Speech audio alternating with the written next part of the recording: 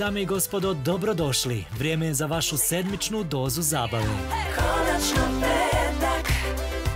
A naši večerašnji gosti su višestruko nagrađivani reditelj Srđan Vuletić i dio glumačke postave nove humoristične serije na našim prostorima. On je jedan od najboljih vokala i večera spjeva samo za vas. Amel Ćurić. Konačno petak. Udobno se smjestite jer počinje konačno petak, a iz studija BHT1 pozdravit će vas Maja Miralem.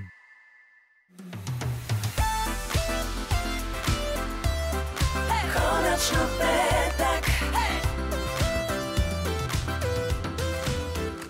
Pa dobro večer, poštovani gledalci. Dobrodošli u prvo februarsko izdanje emisije Konačno petak, za koje se nadamo da će opet biti e, vaša sedmična doza zabave, da je ova radna sedmica bila uspješna za većinu vas kojima rad traje od ponedeljka do petka i da se sada možete potpuno opustiti i narednih 60 minuta posvetiti nama koji smo se s druge strane potrudili da dovedemo zanimljive goste, ali i da čujete neku sjajnu muziku. A upravo sjajna muzika je zagarantovana. Naravno, kada je band muzičke produkcije BHRTA tu, ali posebno volimo kada nam u goste dođe Amel Ćurić, koji je, kako je sam naš Muhamed Mizić u najavi rekao, jedan od najprepoznatljivijih vokala na ovim prostorima. I ja mislim da je zapravo e, izvođačima to nekako i najveći kompliment. Da li je to tako, pričat ćemo u nastavku, ali prije svega željela bih da vas i nas on pozdravi na način na koji najbolje zna, to je pjesmom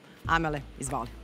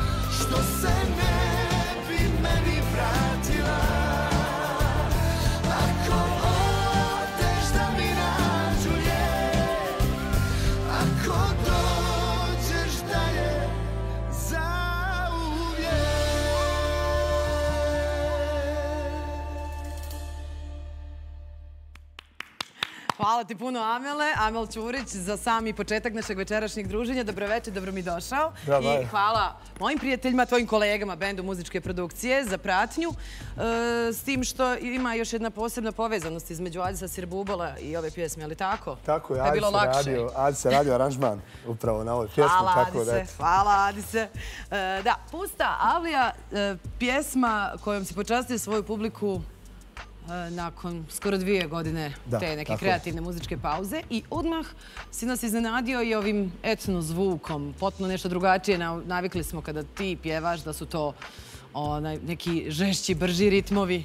Pa znaš kako, Majo, ja sam, evo, upravo kroz ovu pjesmu i još ovaj, jednu pjesmu koju sam izbacio u posljednje vrijeme, ovaj, e, shvatio zapravo kad, znaš, kad te neko pita koji si ti stil, koji si ti pravac muzike. Sad ti ono uzmeš pa analiziraš, pa kažeš pa dobro, jesam li ja rocker, pa dobro, nisam zato što sam otpjevao i nešto što nije rock. Pa onda jesam ja taj neko etno, nisam zato što imam... I onda shvatim, znaš, ono, e, e, u razgovoru tako sa nekim kolegama, e, kao treba sebe da pronađeš. Pa ja sam sebe davno našao, znaš, ono.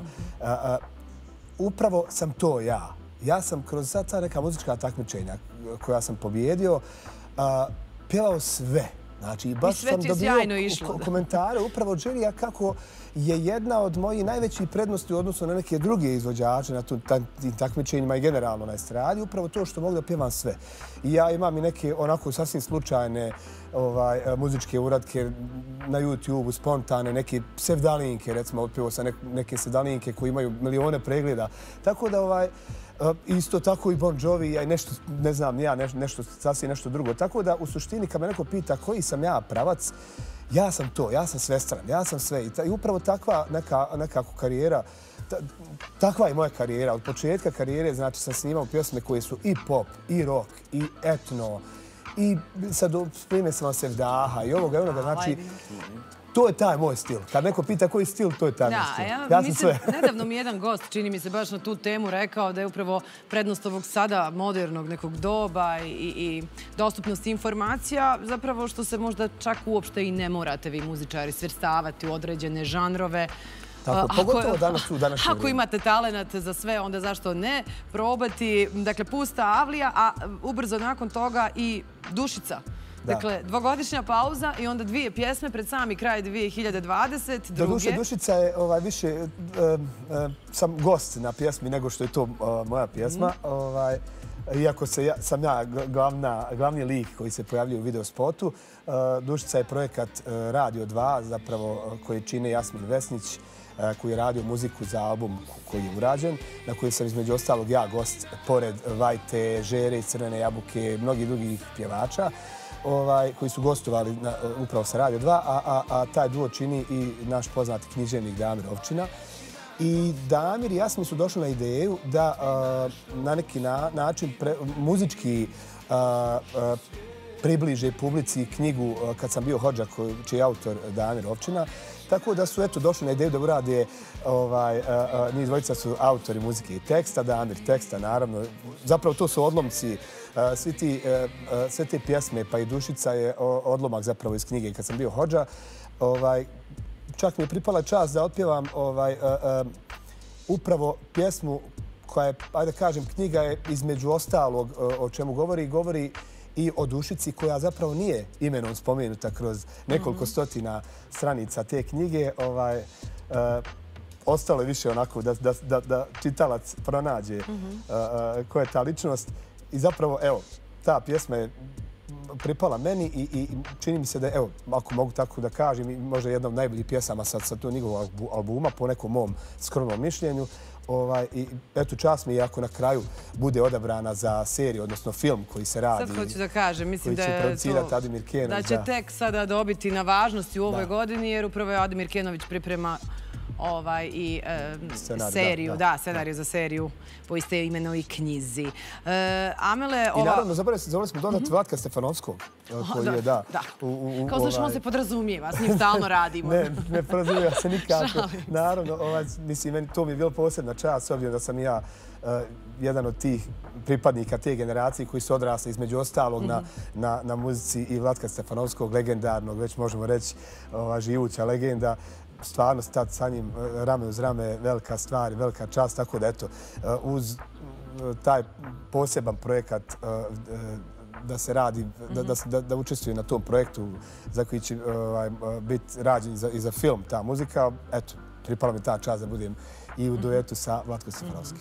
A ti si prošle godine bio i jedan dio, vrlo važan dio ekipe e, koncer, povodom koncerata posvećenih indeksima, našim kultnim indeksima. Imali ste i tu neku mini turneju. Gledali smo putem društvenih mreža kako vam je bilo i autobusu. E, bio je tu Puško, bio je tu Đuro, ne znam ko sve ne. Vrlo si tražen i te pjesme odlično si se snašao i to kaže ne samo publika, nego i ozbiljni muzički znalci. Da, ovaj, pa eto i tu je opet kažem, pripala čast da budem pozvan između ostalih svih tih imena na, ovaj, u tu ekipu.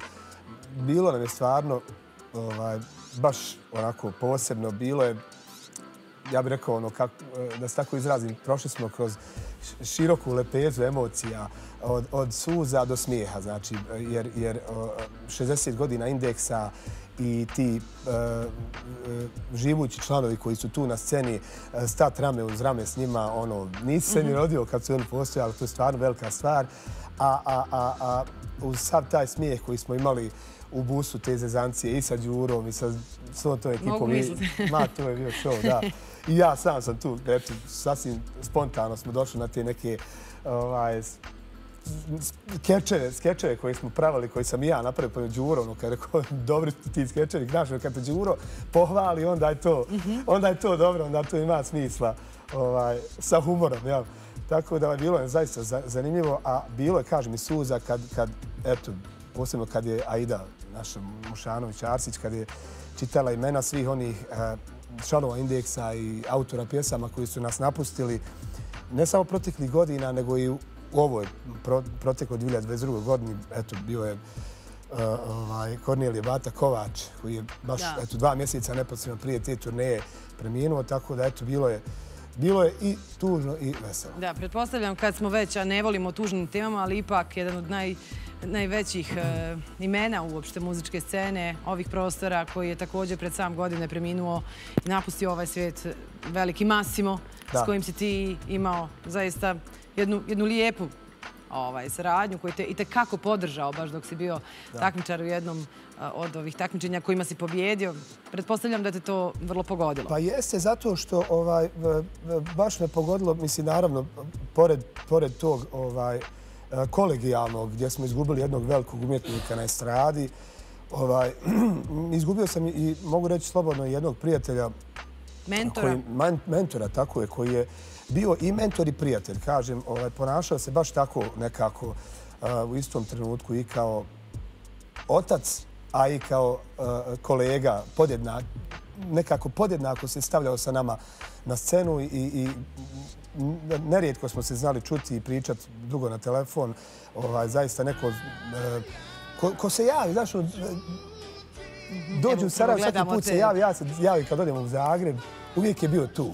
Da, upravo gledamo te inserte. Čekala sam, tražila krajičkom oka. To je bilo upravo sa finala jednog od takmičenja kojima se u konačnici opet i pobjedio. I tu je bio taj veliki Massimo koji je bio tvoj mentor na, na, na ovom... On je to srčano nekako doživljavao. Baš je bio ovaj, unesen u svu tu priču. I svaki put smo se neposredno prije izvođenja ili biranja mojih pjesama čuli ovaj, i onako baš baš e, se unese u, u, u, u cijelu priču pa kaže jesi li siguran da ti želiš pjesmu tu da pjevaš ili osjećaš? Ako je, ako je osjećaš punim srcem, to je to. Ako je ne osjećaš, nemoj je pjevati zbog publike. Znaš šta, Amele, moram ti reći nešto. Sad ću sebi dozvoliti dozu privatnosti jer, jer se poznajemo godinama, spominjao si žanrove i ovo gdje hoćeš, da šta hoćeš da probaš, ali kad, kad sam se sad prisjetila ove pjesme, molim te ne mijenjaj ovo. ova pjesma kao da je pisana za tebe i fenomenalno zvuči i sjećam se dobro kakav, kako mi to kažemo sad u žargonu, na ježitis proizvodi upravo ovakva tvoja izvedba. Ma supruga ima običaj me kaži, kada svaki put izvodiš tu pjesmu, ponovo se zaljubi. Tako eto, eto. eto, dobro, ja nećeš toliko da daleko, ovaj, ali, ali razumijem tvoju suprugu. E, uh, Amele, evo za kraj ovog gostovanja, jer te želimo još čuti i u pjesmi. Godina je bila vrlo aktivna i po pitanju tvojih nastupa. Nastupa širom regije. Ljudi žele da baš ti budeš na, za njih važnim momentima od vjenčanja do, ovaj, do nekih proslava rođendana i tako dalje. E, da li ova godina već bukirana? Imaš li u planu već neke nastupe nekim možda festivalima? Da, ima dosta, dosta bukirani datum, već za ono, Eh, juli, august, septembar, eh, dosta, ima dosta vjenčanja. Ljudi, ljudi to traže. Moram priznati da zadnje dvije godine baš često zovu upravo na te, takve događaje. To ranije nije bio slučaj. Par puta smo napravili dobru zabavu, dobru atmosferu, onda su ljudi to čuli, ljudi to žele.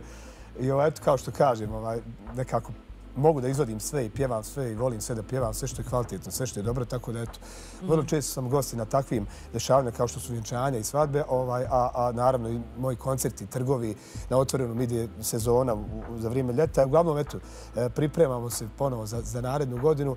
Ja se nadam da ću, da ću i, i prije ljeta izbaciti još jednu pjesmu i ovaj, eto, to će nekako o albumu ne mogu ništa da pričam, stvarno nekako. Zato te i ne pitam jer znam da, da, da vam album nije baš omiljena tema, znam i razloge, opravdani su donekle. Hvala ti puno, Amela. Ja ću ti samo poželiti da se evo, tvoji ciljevi i planovi za ovu godinu ostvare i zamolit ću te da, da počastiš još jednom tvojom izvedbom. Biće to dušica, da. ali prije toga reklame. Hvala ti puno. Hvala. Hey, hey. Konačno petak.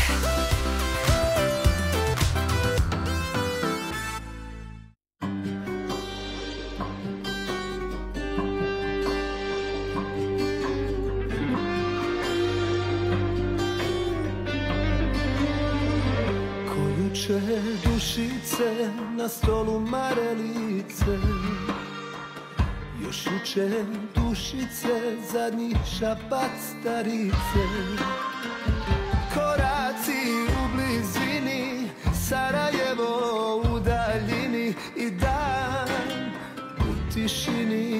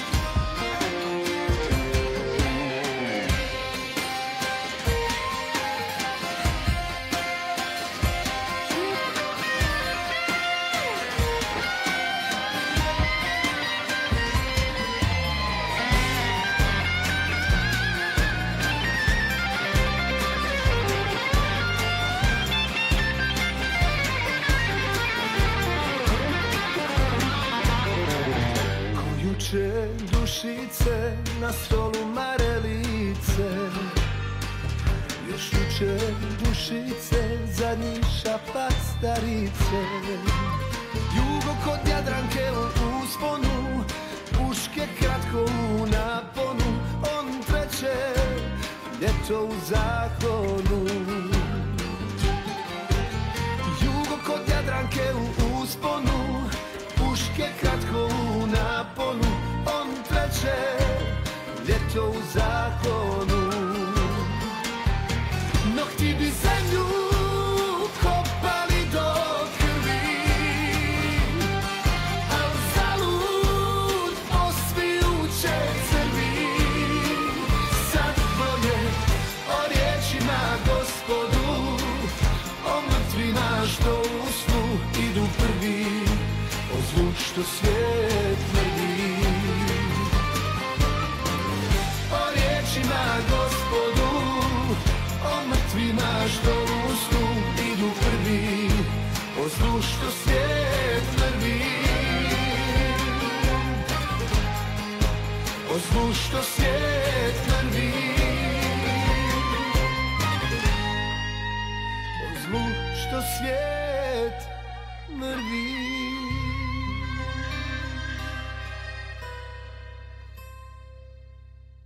Hvala puno Amelu i našem sjajnom bendu, bendu muzičke produkcije BHRT-a na još jednoj izvedbi koja vas je sigurno sam oduševila. Sada je vrijeme da pozdravim i svoje naredne goste.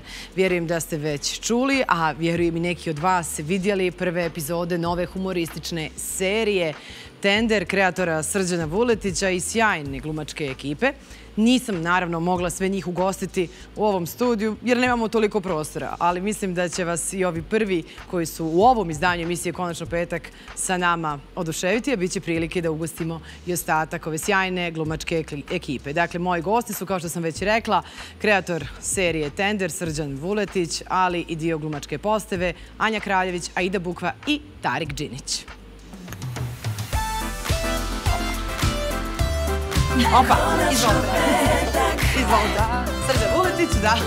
To je Srđan Vuletić, ali vi ste džentlmeni, pustili ste dame da prve uđu. Vidim, mnogi dolaze kao kao da su u svojoj kući, jer su mnogi tu i bili. Već davno, družila sam se sa Idom, e, sa Tarkom, nekada davno, čini mi se da je Srđan tu bio, ali evo prvi put Anja Kraljević kao dio postavke glumačke nove humoristične serije Tender. Pa dobroveče i dobro mi došli u konačno petak. Dobroveče i bolje vas našli. I ne znam da li vi znate, ali ovaj, Sržan Vuletić je poznat kao neko ko baš ne dolazi često u medije. E, stoga mi je posebno pa drago što se... Šta ću ja kraj njih? Vidi Anje, vidi Aide, vidi Tarka. Pa mislim, mogli bismo se to složiti, ali ipak, zahvaljujući tim silnim nagradama, ne, ono malo nešto iskustva što imaš u ovom poslu, lijepo je da podijeliš sa nama i sa našom publikom zapravo dojmove sa snimanja nove serije. Imamo veliku sreću e, i mi u medijima i mi koji volimo da gledamo i serije, e, da imamo priliku o čemu da pričamo, jer u zadnje vrijeme je zaista ekspanzija, dosta smo toga govorili i na proteklom Sarajevo film festivalu. Sve čini se, nekako krenulo kao da se čekalo da završi ta nesretna korona, a zapravo su se čekali i novci. E, to je ono bez čega ni vi, kreativci, svakako ne možete. I evo, recite mi, kakvi su prvi dojmovi nakon nekoliko epizoda koje su se mogle pogledati?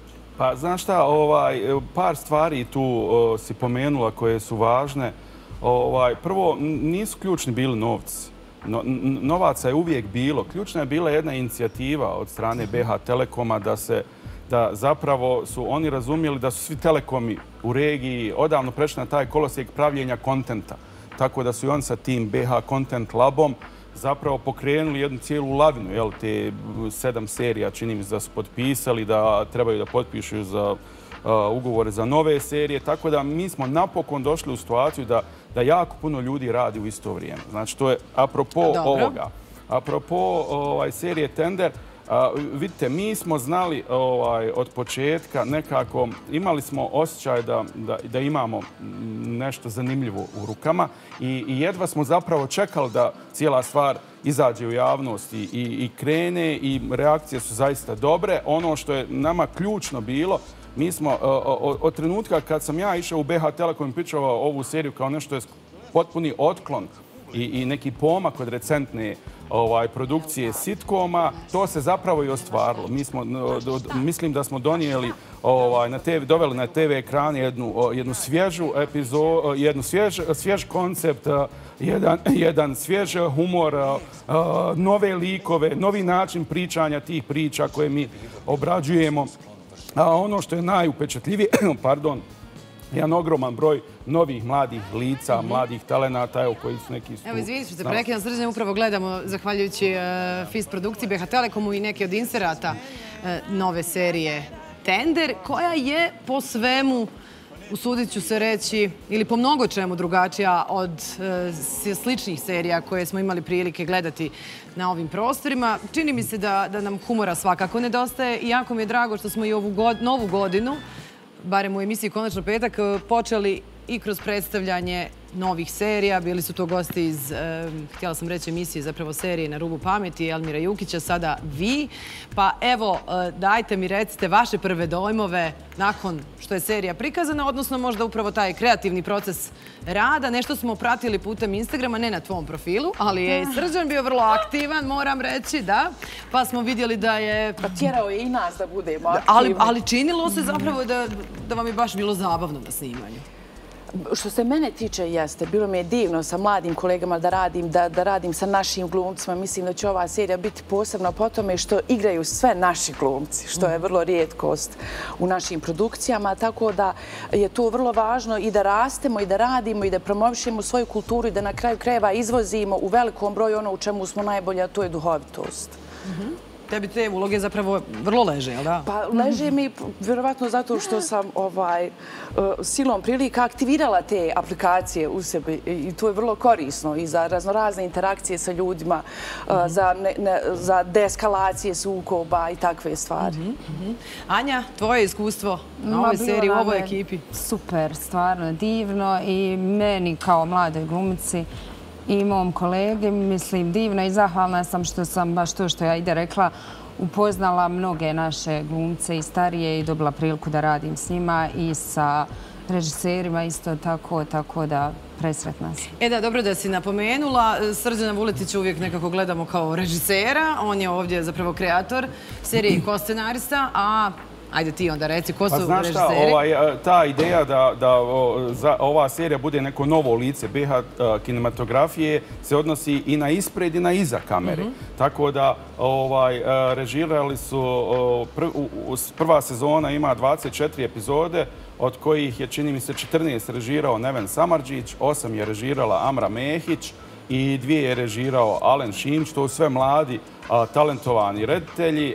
Također, direktor fotografije Amel Đikoli, mlad direktor fotografije. Dino Šukalo je radio ovaj, muziku i obrad to. Znači, nekako, ovo sad što je Anja rekla, ili ne znam ko, Aida, ovaj, ogroman je broj tih novih lica. Znači, ovo nije, nije sada je to par samo ljudi novih, pa sve ostalo stari. Znači, mi smo išli na to da niko se neće pojaviti, čijih smo lica, nekako je lica koje volimo, ali smo ih se možda malo i umorili i zamorili, gledavamo ih zadnjih 20 godina, e tih lica nema.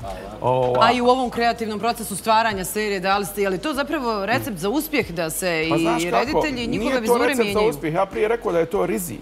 Znaš, ovaj, mislim, ja moram reći, i meni je ovo prva serija, i meni je ovo prvi sitkom, i ja sam rizikovao, ali, ali mislim da, da, je, da ko ne rizikuje, nije nagrađen na kraju.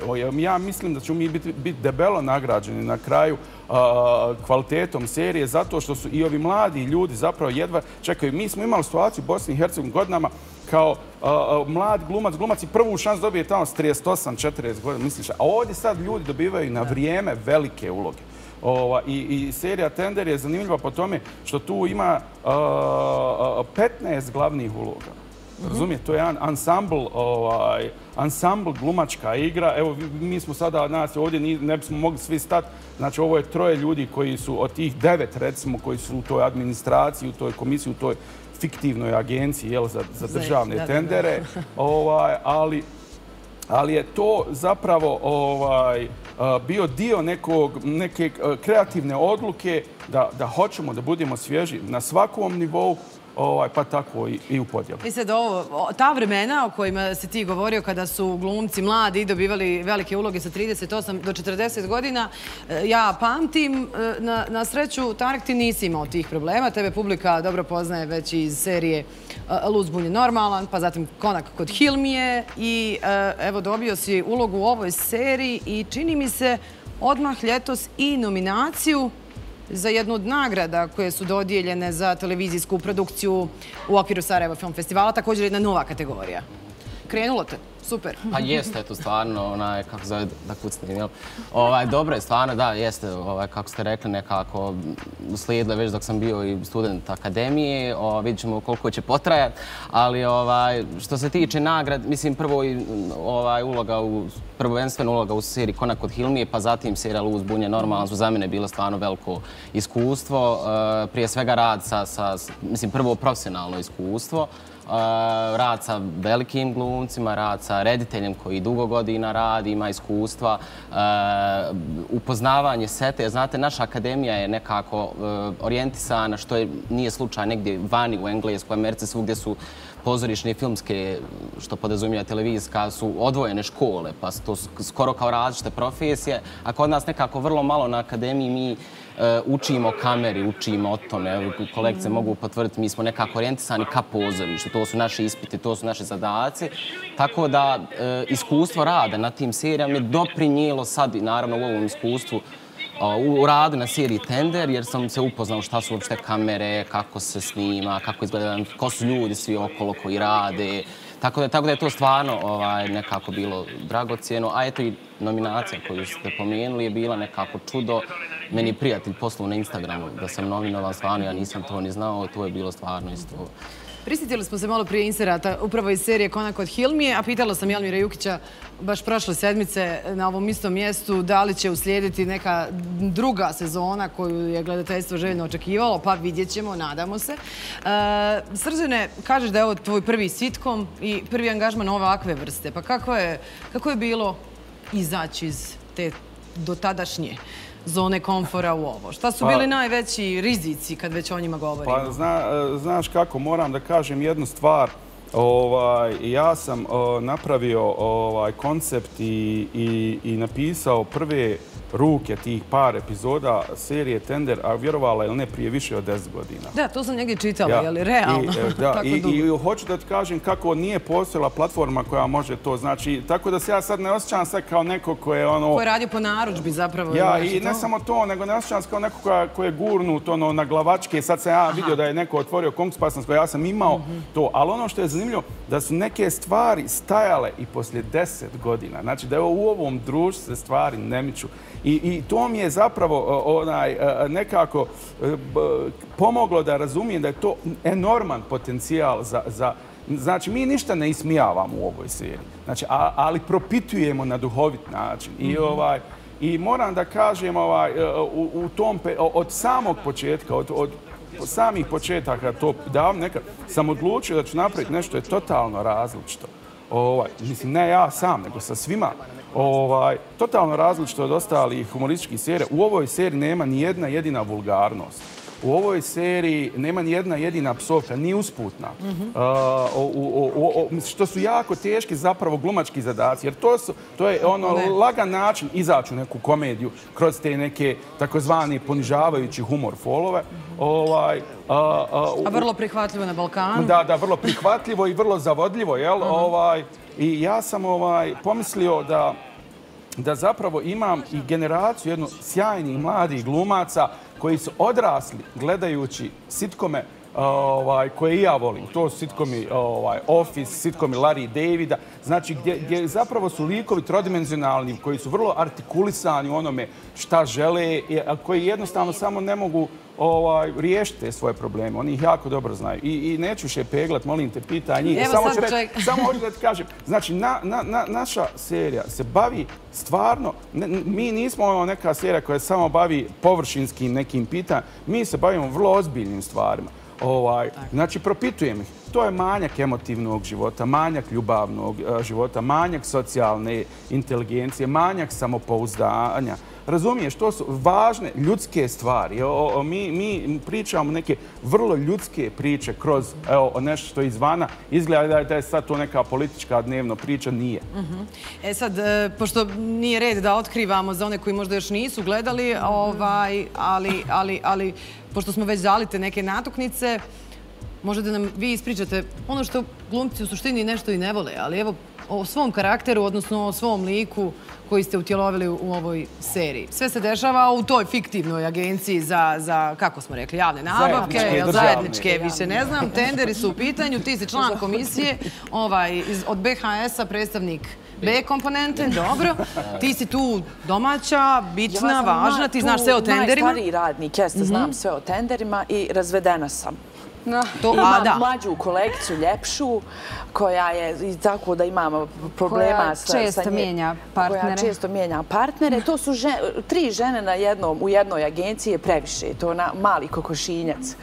Ovaj, Pričaš meni koja radim u medijima. Ne, ne, Bože sačuvaj, Bože sačuvaj. Govorimo, imat će publika s čim da se poistovjeti, pogotovo žene. Dobro, ti si...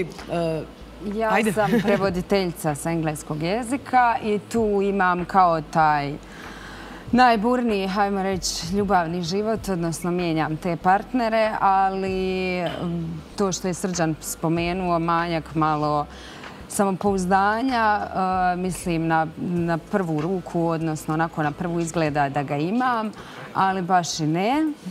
A, I ne znam sad da ne otkrivam baš previše, tu ima raznih situacija oko... Zanima me zašto je baš bitno da u ovom trenutku spominjemo taj, e, taj zapravo privatni život likova ove serije, zato što kad čujemo naziv Tender, pa već znamo BHS komponente, odmah, odmah nas to poistovjećuje, idemo u, jedan, u jednom drugom smjeru. Zašto je važno upravo to, taj moment u seriji? Privatni život. evo, ja Koji u prvoj pa- evo, pa epizodi nek zapravo razotkriven. Pošto vidim, vidim da je Tarko žao što ne priča.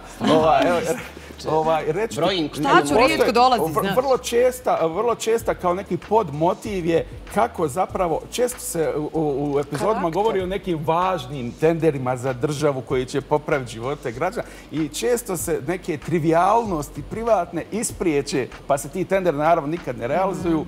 Ova, I tako da je taj, e, taj zapravo, ta stalno i igra neka, neka klackalica između njihovih privatnih e, e, obsesija i, i problema u državnoj agenciji utječe na cijelu bolovanju državu. sam jeste. i tako dalje. E, pa ja, ne Da. mogu dijete upisati u srednju školu i...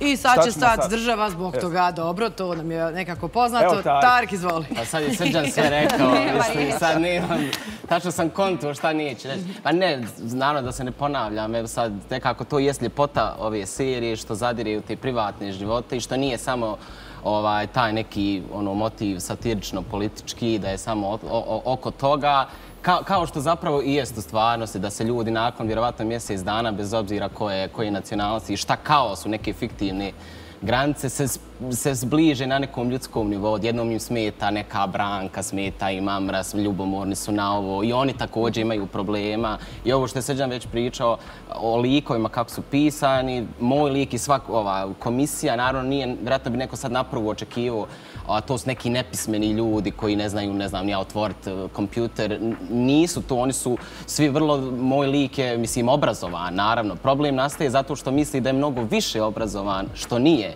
ili što ne zna radi to što radi, naravno, ali on je nekako upućeni su ljudi koji znaju koristiti, mislim, mobitele, laptope, ubuđ- ali naravno pro problemi nastaju što su oni, kako bi rekao, ono, što se njima manipuliše, što oni manipulišu i tako da. iako na odjavnoj špici tamo negdje stoji da su svi likovi zapravo fiktivni, kako ono stoji i, svaka, sl- svaka sličnost sa stvarnim događajima likovima je slučajnost, ali ipak e, čini mi se i u predstavljanju komisije e, gospodina komponente S koji kaže da je završio poljoprivredni jel da, fakultet, tu se vrlo možemo poistovjetiti sa razno raznim konkursima e, koji, koji budu objavljivani s vremena na vrijeme, pa mediji dođu do njih kako za poziciju PR-a se traži baš fakultet, ne znam, Znaš ti nije prehrambeno, ovaj, tehnološki. Znaš kako je, ovaj, par stvari. N- Ti apsolutno ne možeš ništa napisat u, u ovom kontekstu u kom sad pričamo, da nema neka referenca na nešto. I mislim, nama se dešavalo doslovno da, da, ra, da neke cijele replike mi čujemo nakon što što smo već snimili, da ih čujemo u medijima, da ih neko Mhm. izgovori. I to ono što, što je zaista ovdje taj neki faktor, to je to što sam ti ja rekao, to sam ja pisao prije deset godina neke te stvari. nažalost ništa se nije promijenilo. I to i dalje to... A ovaj, da li je, izvini sada, što, pošto nisam, ovaj, nisam sve pogledala, jesmo li definisali šta je, ko je Ivor? pa vidi, Razmišljam, jesmo li riješili tu makar evo, pitanje ostalih onda? Dosta je, tako je, ima, ovaj, i vjerujem mi pitanje Ivora, nije je samo tvoje. nesvrstan.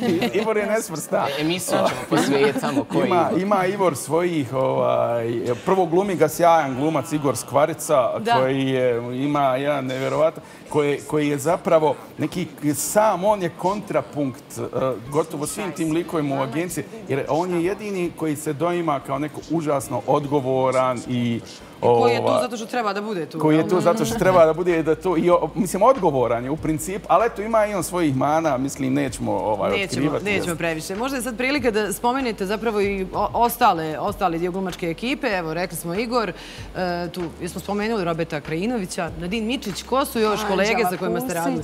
Dražan Petrović. Pavlović. Pavlović, eto. Branko Janković, Stanela Pepeljak, Edin Avdagić.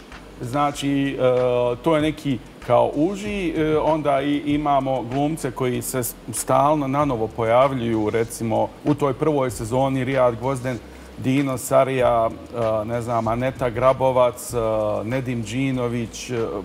Ogroman je broj mhm, ljudi, mhm, sve sto mhm. mladnovi. I naravno ima nekih likova koji dolaze u jednoj epizodi, ali nekako nam je ideja da, da pokušavamo stalno da te likove ne, ne, da nisu za jednokratnu upotrebu, već da ih probamo ponovo vratiti u priču ovaj, i vidjet ćemo, mislim, to sad sve zavisi od nekih drugih stvari. Sad ne znam kako vama, ali ja sam vrlo često bila u vaše ime ljubomorna na vaše kolege koji igraju u svojim zemljama, gledamo njihove serije, njihove filmove na našim kanalima i oni su zapravo ovde zvijezde, imaju popularnost, samim tim stiču i nove uloge i novčano su obezbijeđeni.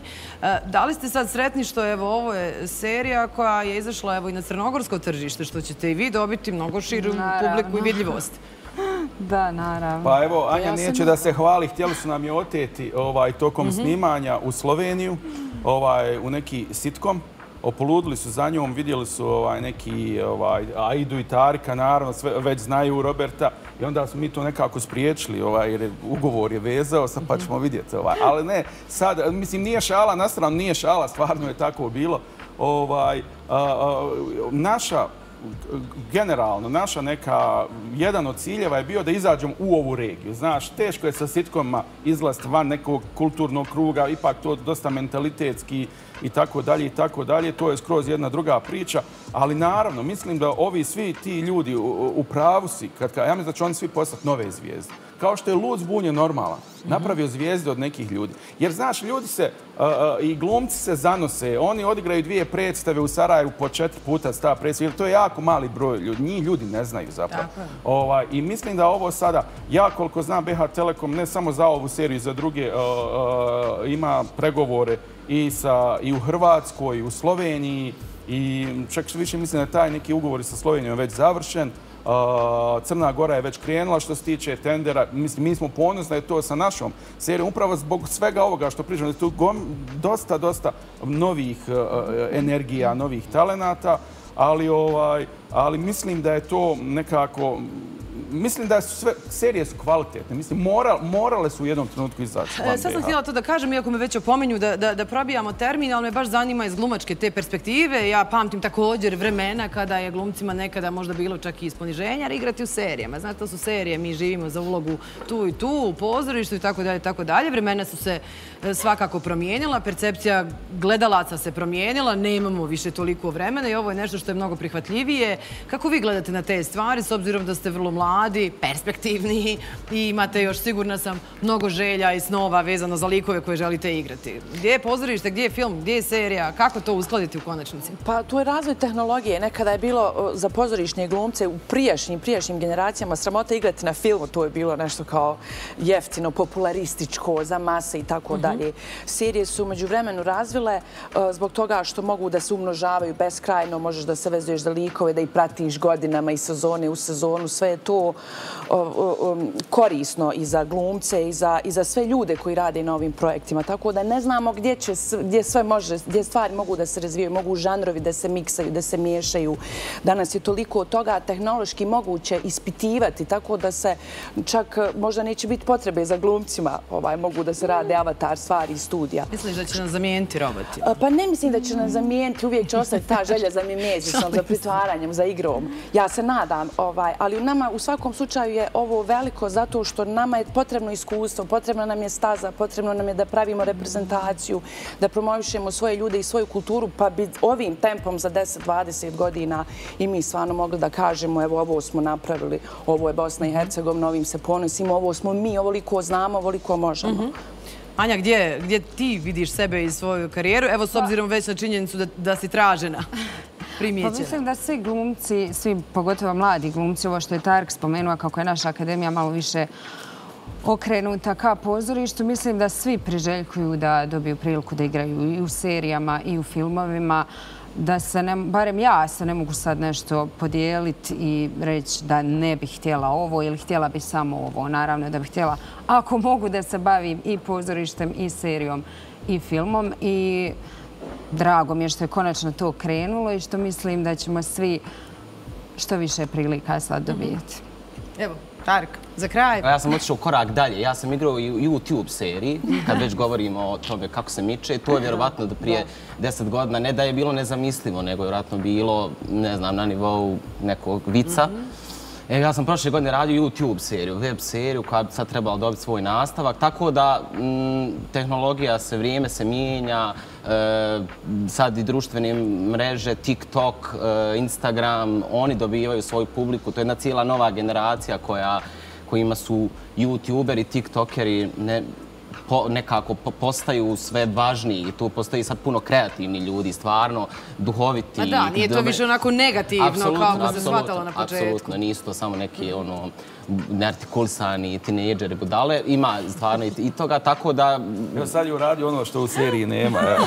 da, da, da, da. Tako da, ovaj, mislim da ono, svakako, ja bar nekako osjećam da, da prirodno mi je da pratim tu i da i tako da će se vjerojatno u budućnosti biti neki TikTok serijal, sigurno. Odlično. Želim vam puno sreće zaista u nastavku evo i ove serije, ali i u ostatku vaših karijera profesionalnih. I, i Srđane, možemo li u ovom trenutku već govoriti, već si rekao da BH Telekom ima sklopljene te ugovore sa nekim regionalnim centrima, je li rano da govorite o, o nekoj nastavku sezona ili je to već dogovoreno? Pa vidite, evo... O, ili čekate puls javnosti? Hvala ti e, što si me pitala. Prvo, puls javnost BH Telekom je osjetio za za vrijeme novogoćnjeg emitovanja mhm. serije koja je bila nevjerovatno gledana, naša prva epizoda.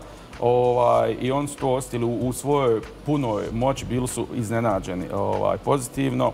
Ovaj, e, mi smo predali dosije sa 30 epizoda ovaj, e, BH Telekomu i zaista se ne bojimo. Mislimo da ćemo napraviti dogovor za novu sezonu. Ali sa druge strane, znaš, i ta FIS produkcija koja je, to je jedna ozbiljna produkcija na polju ovaj, e, sitkoma i ja zaista ne bojim. Ja se nadam da ćemo nastaviti rad sa BH Telekoma, ako ne uspijemo, ovaj, sa njima vidjet ćemo. Hvala vam puno. Hvala vam, kažem opet, vrlo sam sretna, evo i kao neko ko radi u medijima, što imamo prilike na samom početku godine da prezentujemo neke sjajne projekte naših kreativaca, naših umjetnika, glumaca, reditelja, e, scenarista i hvala vam za humor koji nam donosite nakon ove dvije, tri tako teške godine pogotovo na početku ove 2023. pa se nadamo da će u tom smjeru ići cijela godina. Hvala vama što ste gledali. Hvala vam puno. Moji gosti bili su dio glumačke ekipe, nove serije, E, kreativnog, odnosno ko scenariste i kreatora serije Tender Srđana Vuletića, Anja, Aida i Tari. Kao ekipe pozdravljamo i gledat ćemo vas, a sada ću vas zamoliti da ostanete tu kako bismo poslušali našu sjajnu Ajselu u pratnji Adisa Sirbubala e, za jedan muzički predah.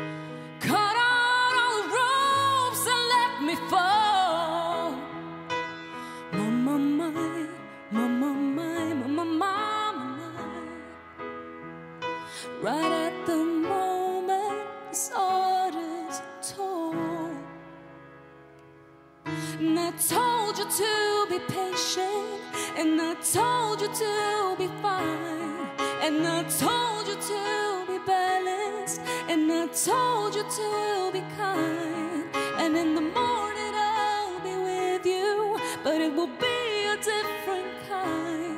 Cause I'll be holding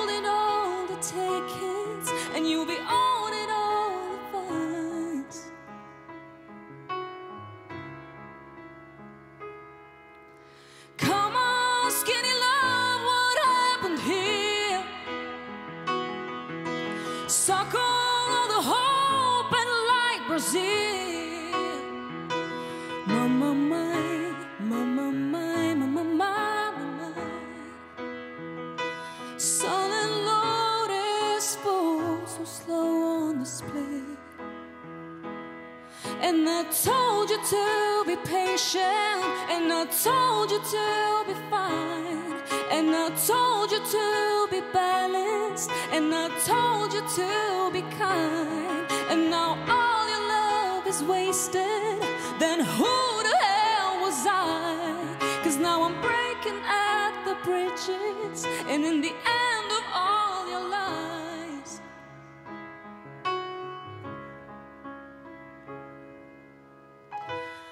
Who will love you? Who will fight? And who will fall, fall behind?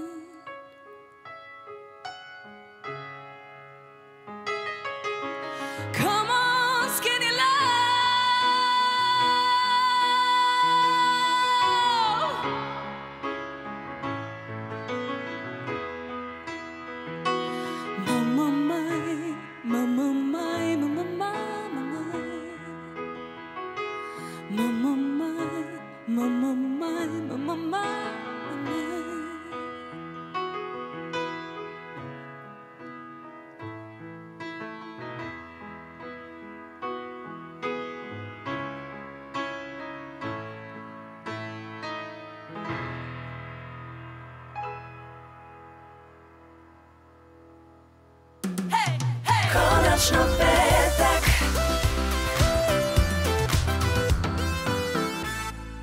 Vrijeme brzo prolazi, poštovani gledalci, već smo skoro pa pred samim krajem našeg večerašnjeg druženja u emisiji Konačno petak, ali imamo dovoljno vremena da vaše pažnji preporučimo priče iz Mizimobila našeg dragog kolege Muhameda Mizića. Ovoga puta e, srce i dušu mu je otvorio jedan od omiljenih i vokala, ali i kant autora koji kad god dođe u Sarajevo zaista nas počasti svojim gostovanjem i pjesmom. On je Marko Luis, tako da se nadam da ćete uživati u nastavku.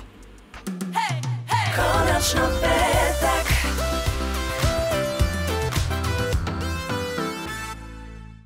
Marko, dobrodošao u Mizimobil. Dobro jutro, e, ja sam, ja sam kao, sad, kao da smo na putu i kao... Ja, ah, ne, dokle smo? Do, e, tu smo, tu smo, blizu smo, sad ćemo doći. Sad. A, kako si? Dobro sam, uspao sam se jutros, ja inače kad god legnem ja ustajem sa decom 7-8 ujutru i sad deca su u Beogradu i ja sam, ovaj, nisam čuo ili ne znam šta je sa alarmom, ovaj, tako da sam zakasnio na, na intervju par minuta, ali eto, stigli smo sve. Pa dobro, to je to, mislim... Mislim, nisam se uspavao na tvoj, Aha. sam spavao na radiju. A, dobro, dobro. Koliko instrumenta sviraš? 168, ako se računaju i tapšanje i, i, i volan. Glas.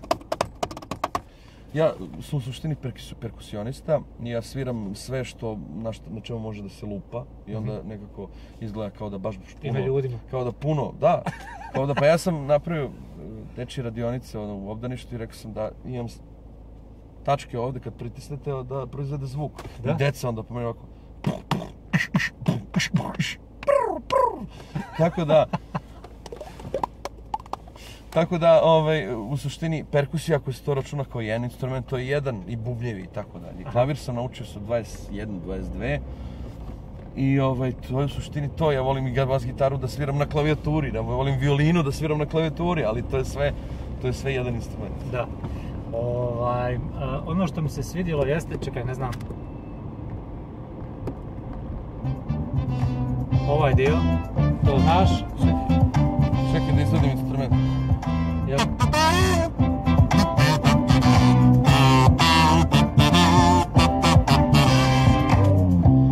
Je lav, još manje lavica, još manje mrav, malecki on. Mali je no... Yeah. A, dječje pjesme.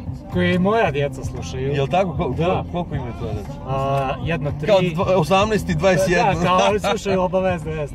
O, jedno tri, drugo, drugo 10, 11. Ali bez, e, ja se zovem Slon, Slon i navike i naučiti je lako. Da, da, da, da. To su tri pjesme koje stalno vrtimo. Ja, ali nevjerovatno koliko, evo ja, na, na kraju krajeva sam napravio album zbog, zbog, zbog roditeljstva, zbog mojih deca. Bukvalno, kao da sam za njih to napravio, zato što ja svaki put kad je nervozna Zola, ja samo pustim slona i ona, to je muk.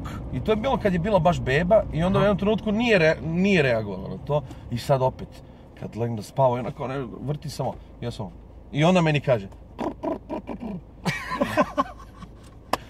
I to je prelepo, stvarno, i reakcije su divne i planiram svakako sljedeće godine ovaj, e, da, da, da, da krenem sa drugim albumom. Eto, ideja da bude, da se zove Majmunski priče, ali vidit ćemo. Marko, hvala ti puno što se odvojio vrijeme i što smo se evo podružili. Što smo se ispričali nekako u nekom kratkom vremenu dosta toga. Meni je bilo zadovoljstvo, e, drago mi da smo uspjeli ovo da organizujemo. Znaš šta? I hvala na pozivu. Hti- Htio sam ti ono neko iznenađenje pripremiti i imam ga u stvari nazad spremnog. Ne znam koliko bi to uspjelo uopšte, ali onaj... Šta? Reci! Ja volim poklone. Ali ja ti ništa nisam poklon. Ne, ne, ne, ne, ne. Čekaj, ne znam je li smijem staviti to ovdje. A, možda i smijem kratko. Ma, Ajde. Vidiš ovo, da ću ti nešto pokazat. Ono kad sam te pitao, znaš koliko instrumenta sviraš? Ukulele još ne sviram. Ne sviraš. A, a jel znaš improvizaciju neku? Da pevam? Ja. Ne, ali... Koji je tonitet, znaš? O, nemam pojma. Teško, je da?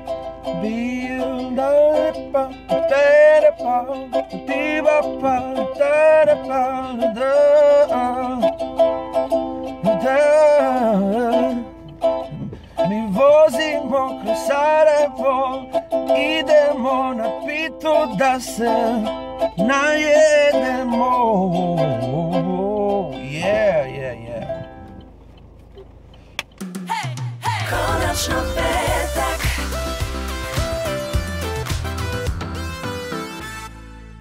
I došli smo do kraja, poštovani gledalci, još jednog izdanja emisije Konačno petak. Malo prije smo uživali u solo izvedbi Ajsele Zoranjeć u pratnji Adisa Sirbubala u fenomenalnoj izvedbi pjesme Skinny Law. Sada je na redu Medina, koja će pjevati sa ostatkom ekipe benda muzičke produkcije BHRT-a za kraj našeg večerašnjeg druženja. Vidimo se i sljedećeg petka od 20 sati. Doviđenja i hvala vam. Od kad tebe nema tu, sve je krenulo po zlu. I kojim goda putem probam, uvijek vrtim se u krug. Od kad tebe nema tu, više ne znam razliku. Svijet je siguran od mene, sreću nalazim u snu. Samo smijem se i smiješ se i sve je isto kao prije. Zamišljam da ničega se više ne sjećam. Samo smijem se i smiješ se i sve je isto kao prije. Zamišljam da ničega se više ne sjećam.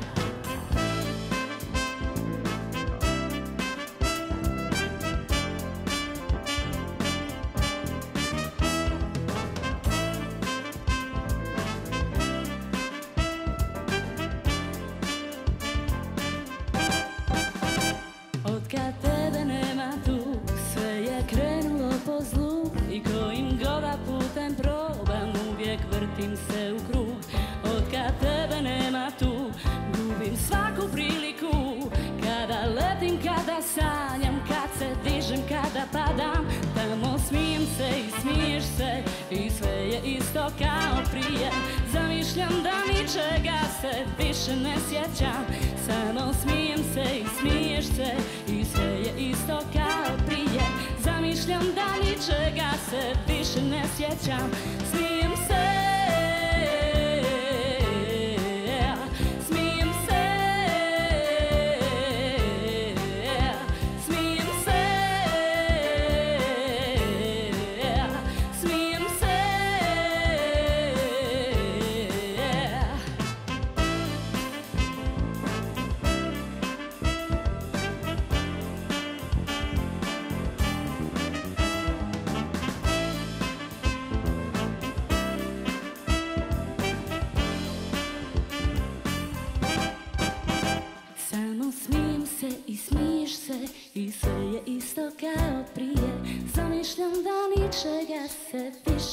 sjećam Samo smijem se i smiješ se I sve je isto kao prije.